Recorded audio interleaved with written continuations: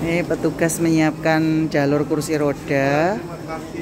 Terima kasih. Nah, setelah itu diambil kembali. Oke, terima kasih. Nah,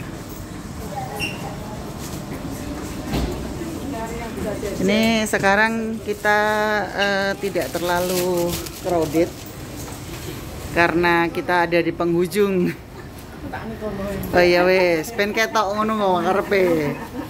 Nah, itu tiga tiga sejoli. tiga darah. Darah. Darah muda. Nah, itu tadi yang jembatan untuk apa? Kursi roda dapat juga diterapkan di rumah sakit loh. Kalau belum punya belum punya tracking kursi roda